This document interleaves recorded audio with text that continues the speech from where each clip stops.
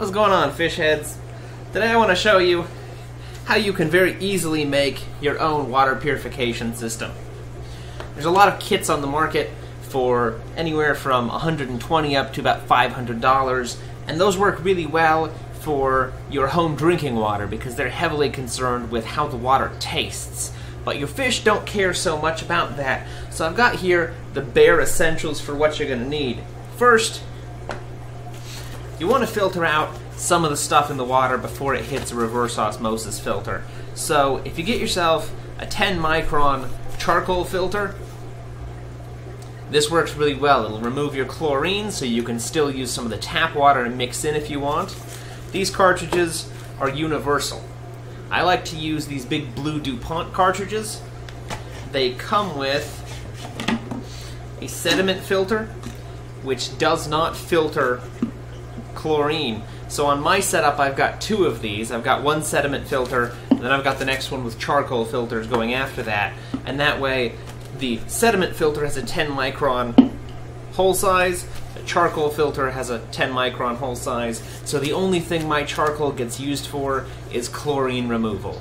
And that means I can take the charcoal out, let it sit for a month, and it renews because the chlorine evaporates.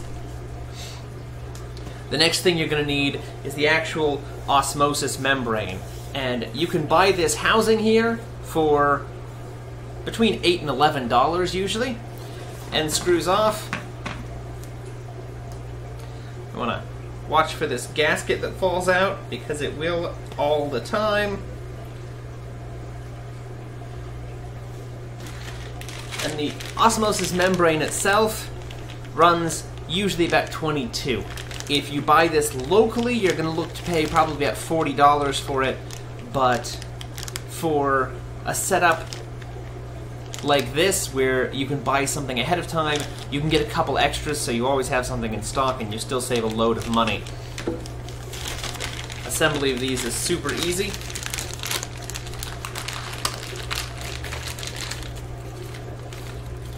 Do not touch the blue area on this uh, it will potentially damage it and increase the failure rate. So you're going to put the gasket side down into the tube.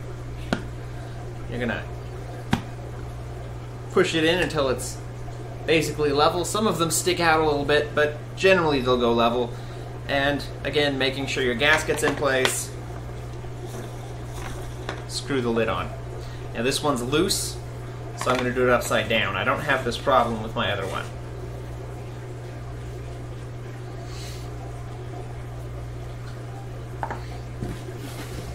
The last thing you're going to need is a flow reducer. And the flow reducer is important because if there's not some back pressure on your osmosis membrane, it's not going to work. So I'm going to go ahead and show you how I've got all this hooked together just to give you a good idea of what you can do on your own.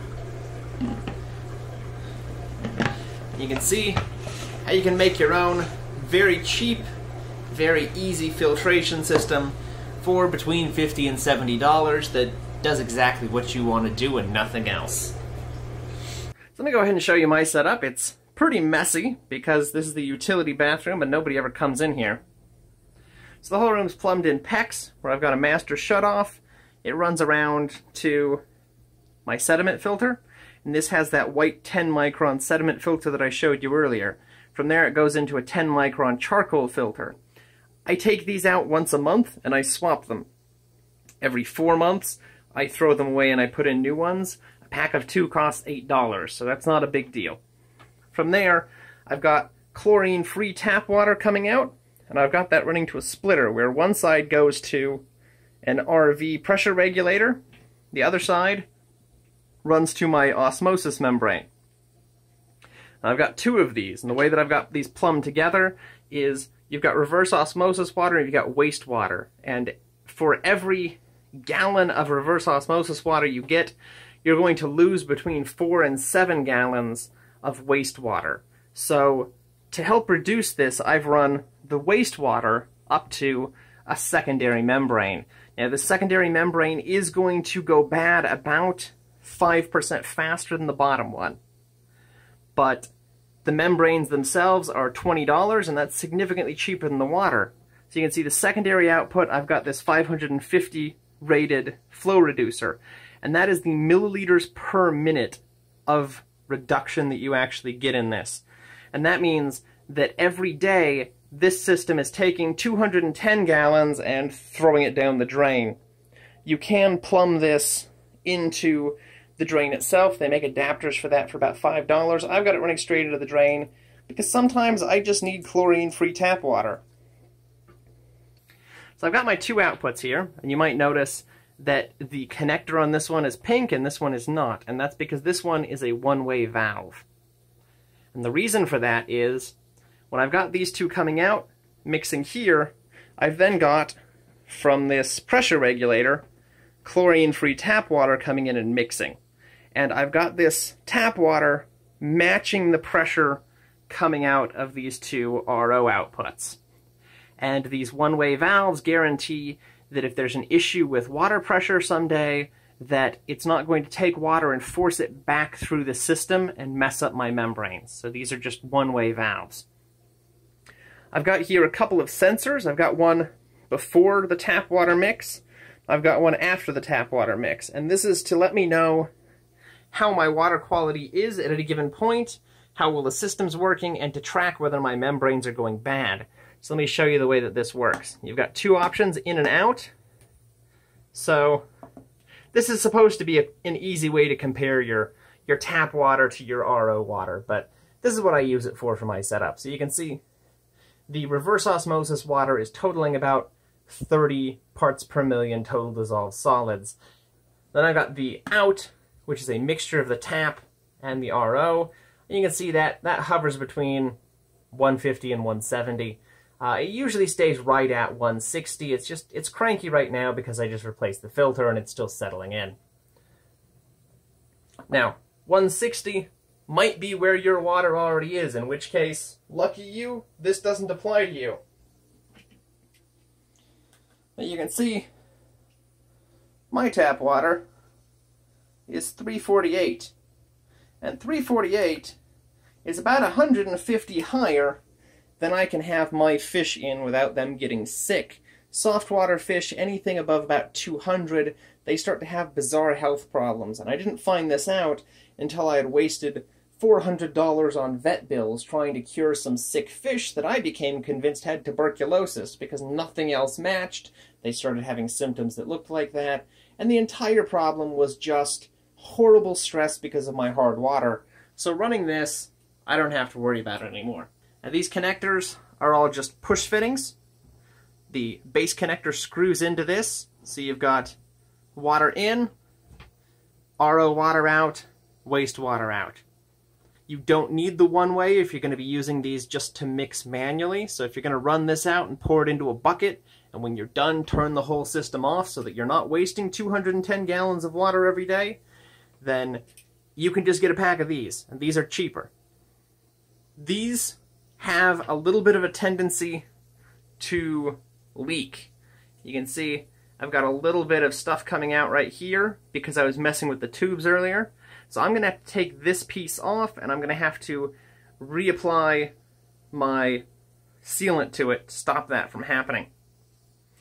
Uh, the first time I did this, I just used the regular Teflon tape. This time I'm going to be using the heavy duty just so it holds a little bit better. This middle bar is a little bit wet because I sprayed water everywhere earlier, but it doesn't leak. Uh, these are not normal threading. These are, I forget what the name is, but they're the threads that reduce as they go in, and sometimes those work really well, and sometimes they don't. So I'm going to include these in the description because initial setup, these come with the sediment filter. It saves you some money if you want to set it up the way that I have. But there are other canisters, and the other ones probably will be less leaky. These ones, I have to come in and reseal, I don't know, about once a year, which isn't a big deal, but it's not worth saving 8 or $10 for. That's it. I hope you found that informative. Something that you really want to remember is that you have to make sure that you keep your chlorine removal working, because chlorine will destroy your reverse osmosis membrane. Something else that's worth noting is there's a lot of pre-built kits on eBay that run just a little bit more expensive than this. They come with a whole lot of filters and things. They really seem a whole lot easier to set up on average. And that may be true if you're not into do-it-yourself stuff. But the total cost of this comes out to about 2 cents a gallon averaged over a year if you're doing 300 gallons a month. And the total cost of running one of the pre-built kits comes out to about 6 or 7 cents a gallon over the course of a year for the same thing. Uh, they do tend to use universal cartridges, so if you get one of those, you're probably not going to be screwed on price for cartridge replacements, but you're going to have to be replacing cartridges that you really don't need for a fish tank. Uh, the extra cartridges may make the reverse osmosis filter last 20% longer, but they cost enough that that completely offsets the cost of replacing the RO filter or the RO membrane more frequently. If you like this video, don't forget to subscribe to the channel for more informative stuff in the future. Share it with anybody you think might be interested and you'd be doing me a huge favor. And we'll see you guys next time.